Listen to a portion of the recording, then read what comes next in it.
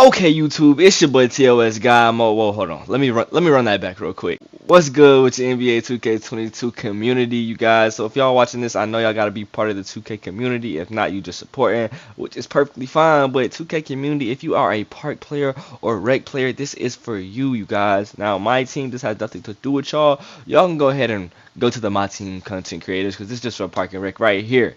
So y'all know the saying. Let's get it. Let's get right into this content, my boy.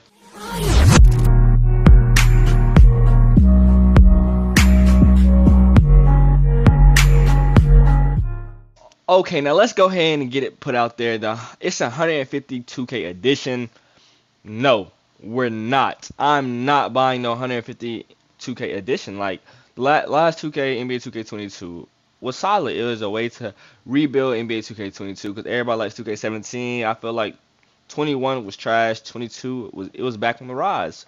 But I only play Park and Rec. So what do I look like buying a 150 edition of NBA 2K23 when those perks aren't benefiting me? So this is what I come to tell y'all. If y'all are a Park or Rec player and y'all don't want anything like y'all don't want a Michael Jordan jersey or y'all don't want anything like that, don't buy uh, the Michael Jordan edition. Don't buy any edition except the standard edition. And here's why. So let me go ahead and tell y'all. For one, what is it benefit? If y'all go look at the NBA 2K uh, 23 edition and what's the difference between them, it's literally just my team packs, jerseys, and VC. So I pre-ordered the standard edition, which was $70, which I recommend all y'all do if y'all are just park and rec players. Now I know it's different if y'all play my team and y'all play park and y'all play rec. Okay, that's different. But I'm just talking to park and rec players only. If y'all literally just like park and rec, and y'all want to upgrade your dude, if do not buy the 150 edition or the $100 edition or whatever the next price edition is.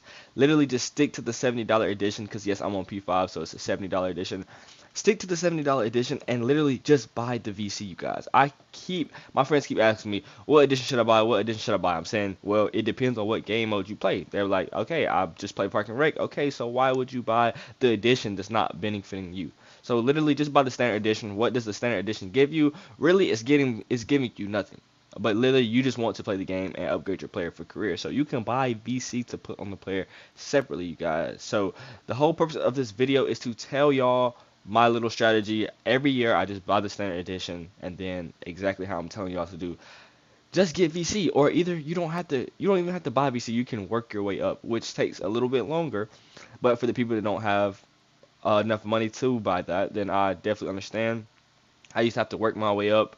Some now I'm still debating on 23 if I want to work my way up because I am pre-ordering it, so that means I will have it faster than anybody else who didn't pre-order it. So I'm pretty sure I might just work my way up and just see how long it takes. But for the people that have a lot of money and just or just wants to go ahead and get out the way, they're gonna go ahead and buy the VC. So you can do that, but you guys don't feel like y'all have to buy the um the better editions. The standard edition, there's nothing wrong with buying the standard edition.